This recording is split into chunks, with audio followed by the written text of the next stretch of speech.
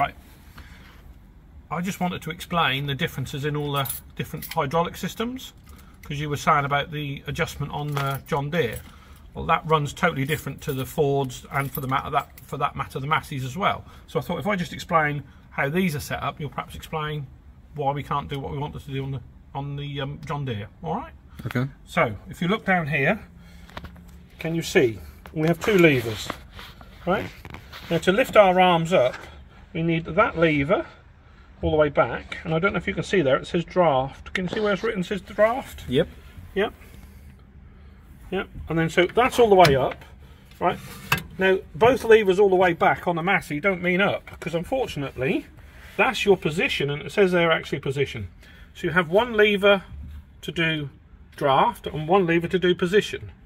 So for that to work and your arms to come up, you need that one to there. Okay? Mm-hmm. So that's your position. So wherever you put that, the arms should go to. Quite simply. So there's two levers. Yep. Then if you push that forward, what that does is that lifts the arms up and then puts the pump into pump. And that's the amount of flow for tipping trailers or if an implement has a constant flow and return. Yeah. So that's how you regulate your pressures. You see, and then into the high point it says they're constant pumping. All right, but the arms have to be up on the Masseys for that to be for that to happen. So when you're in position, you've got a fertilizer spreader on or something like that. You want to lift it to a certain height and hold it. You use that lever. Yeah. Yeah, But When- that lever has to be all the way up. That one has to be all the way up for your arms to come up. Right. Right. When you're then um, want to use a plough or cultivator or something, the best way of doing it is put that one to where you want to lift up to the maximum. So this is your max height then, if you like. Mm. All right. So you put that wherever you want maximum to be. Doesn't have to be all the way up. And then when you slide that one down, that goes into draft. You know what draft means? Yep. It's your linkage sensing the amount of pull on the back. That way, you, the tractor will sense how hard it's working. And this is the Massey Ferguson system, which Harry Ferguson designed and, and worked out. So it transfers the draft of the plough, or the, the tine pulling into the ground, is transferred onto the back wheels to give you grip. So you don't need weight, but it's transferring that, that pull into the ground onto the back wheels, which we call draft and there's a linkage, as I'll show you that on the back quickly how that works right Okay. and then this is the lever which controls how much pressure that then needs to lift or lower all right so then obviously forward is down into depth but what you tend to do on the older track you have to go down beyond the mark to get the arms to go in on the plough and then come back up to your mark and then work that's your sort of working height wherever that may be on here All Okay. right. So that's the Massey system. Okay. If we jump over on the 135, you'll see that's very similar. We'll have a look on there. All right. Okay. So we put them there like that. Okay. Now what we've got here is what we call upper link sensing. So top link sensing. And if you look in here, there's a piston in here, which is actually sensing how hard this is pulling backwards. So when it dives in the ground and really gives a hard pull, it senses that. That's then linked through here to your rocker arm, which are these two pieces here, which then works out whether it needs to lift or lower. So that's, I say it's quite simple, there's a bit more to it than that. All right? Okay. So it's working out the pull on here to calculate the pull or how, whether it needs to lift or lower. Look at that. If you put your, if you imagine that's your hand wedging into the ground, Mm. yeah, and the weight of the soil is on top of that, and uh, and you're trying to break that up. So that's Yes, but the forces should be. No, No. no, because you've got all that weight out the back there, haven't you? The, the Oh, okay. if you go on a subsoiler with big wings on, the force is down into the ground, isn't it? Oh right, yeah. So it does So guide itself in that. and it does stick in. You see with that tine on the floor there, yeah? Yeah. If you look, the tine is trying to dive into the ground, isn't it? And it's trying to go further down into the ground. So this then lifts that up. By lifting that up, transfers the weight onto the back wheels. Yeah? Okay. Make sense? Yeah. Now, does that look familiar to what we've just seen in the very much later? Exactly the same. You've got the pressure here again, and then Yeah. you draft this side, don't you? So this is a 1960s tractor, that's a 1980s tractor. And doesn't that look very similar, if not the same? Because it's working very similar, but slightly different scales. So when you look here, again, you can just see the rubber's broken on the piston, look. There's your piston, in that chamber there. Put your light on, you can see it better. Yep. So the rubber's broken here, but you can see the piston in the chamber there sensing the oil pressure, and then, as you can see by the plough, look, the plough was trying to bury itself in the ground. We're then trying to lift that and put that weight here onto the wheels to give you grip. That was the whole purpose of the Ferguson system. Yep. Yep. To I'll find transfer the draft or the pull of that plough into the ground to hold that up and put it onto the rear wheels of the tractor. Therefore, you didn't need a big, heavy tractor to pull a lot more. It's called weight transfer, isn't it? Yeah. Okay. All right. Yeah. Right, next track. Right. Now this is slightly different. Well, it's the same but different, if that makes sense to what we've just seen in there, right? We've now got two levers again, so you want to have a look.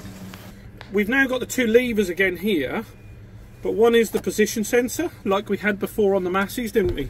Yep. So that's your position, and that's your draft wheel.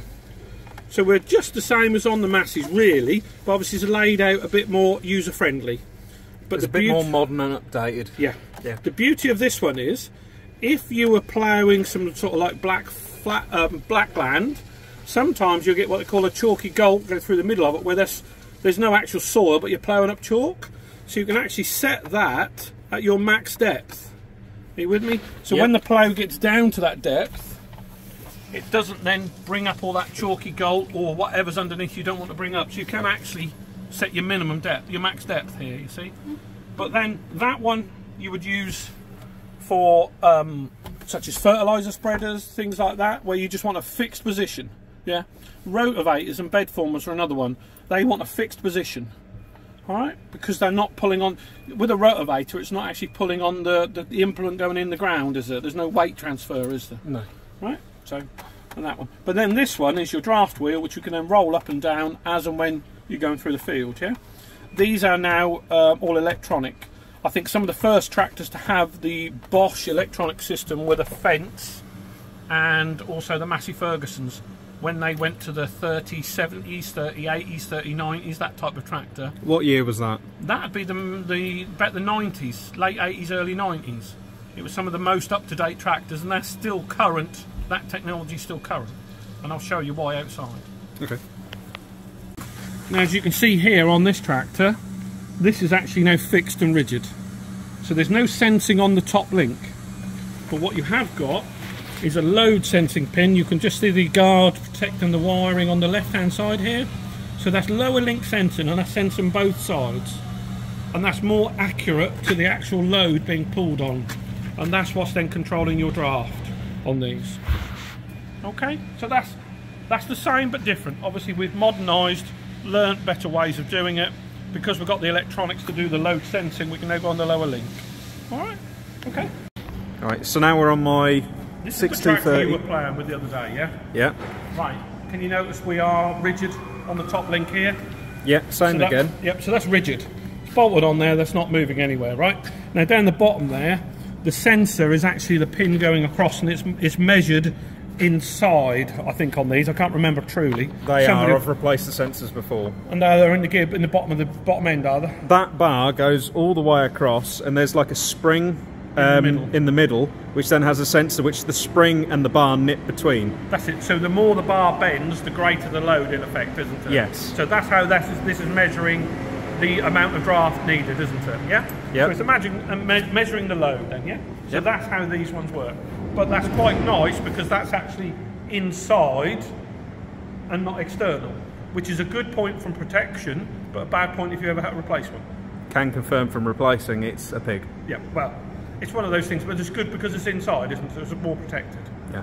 But John Deere, as an American manufacturer, don't have our style of pickup hitches, No. and that's why it's a pig for us when we come to replace them, because they bolt the pickup Oh, right, hitch right in the way. remove the pickup hitch to get in and get get them out, have you? Yep, there's literally a thin tin plate right above the pickup hitch, Right. and you have to have all that off. And you, we used to just put two bolts in and slide it out, and you used to be able to do it that way.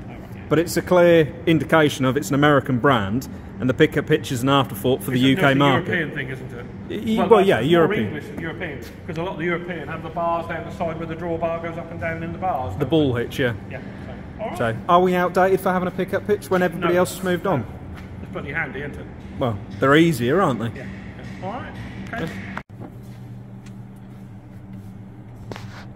Right. So now, as I understand it, please correct me if I'm wrong. This is what they call a mixed system. So this does your arms control, yeah, which is your up and down, yeah. Yep. Now you can adjust the um, draft control on this by how much you go from, if you like, you can mix it from a position sensor to a draft sensor, and you can adjust it all the way in between, depending on how what job you're doing, how you feel it's going. So you don't always need full draft. You can mix it a bit, and on this tractor that enables you to do that. Which on this one is quite simple because you go into your menus. I've got to try and remember where you go. Oh, that's there, isn't it? There's a button there, yeah. There, press that button there. That then brings up. See, now that's showing a mixed, and you're on position four. So once you've set that, you probably only adjust that once or twice a day, even if you do it that much. Obviously, Okay. you, you can you can adjust that to where you want. You know, on such as a plough, you want to be fours to fives, yeah. But you'll see how much it works. All right. So, and that's how you adjust it. Once you've got that set, you shouldn't really adjust it only on this. Okay. You shouldn't actually need to adjust that most of the day. All right. On a lot of tractors now, the more modern tractors, especially the New Holland, there's two lights, one for up, one for down. Yes. Right. So when you're working the implement, if you've got that set correctly, you can act, those buttons should then flash equally up and down. That way, you know it's letting it in the ground and then it's lifting a little bit, letting it in the ground, lifting a bit. And sometimes, you know, that that's. But you can see they shouldn't go bit bit bit. You know, shouldn't be dashing about, but they should be gently on off on off with each one, and that's how you know it adjusts. If we now go back to New Holland, we can then look at all the different settings in there because then it gets complicated. But that's just a very simplistic view of draft and position. All right, Okay. does that help? It does help, yes, but Right. I still feel like comparing it to the New Holland system, I shouldn't be doing that from what you've told me. No, because they're different This systems. This is probably, but to be honest, a slightly better system. Although, from experience, this I think is better as far as draft go. But when you want to do that little fine control, this doesn't move or is not as sensitive as the New Holland. And this was sort of my criticism in that Sunday video, where I didn't feel like I was responding to the tractor because I didn't like just being a set it in implement and just go for it. Yeah. I wanted to have that fine adjustment, which is why I preferred and even said the New Holland had that little dial that you can just sort of gently just tweak. Yeah. But Well, this you- just I'll doesn't feel the same tweak. But just remember, this is quite a bit older than the New Hollands, Yes. and also a lot simpler tractor. To be fair to the New Hollands, they are the top spec ones, or, or nearly the top spec ones. Where this is quite a not a basic tractor, but it's the lower end of, of the John Deere. Obviously, the John Deere's now got lots more settings in them and are equal to a lot of the other tractors. To be fair, I don't think there's a better brand than any other. It comes down to personal preference a lot of the time. They all go wrong, and it's how quick they get fixed. So, right. Right. Right, so now we come back in here. We've got the very basics of, of the two sliders, right? Over here we have two little lights, which I was just saying about. So if I put the key in and turn it on, those two little lights are a good way of judging whether you, whether the tractor's working to, at its best. If they just gently flash between each other, then you're not far out on your settings. Just to confuse you even more, if we lift the lid here, we've got quite an array of, of twisting knobs. The simplest way to remember is there's your wheel slip, that one's your wheel slip, that one's hydraulic output.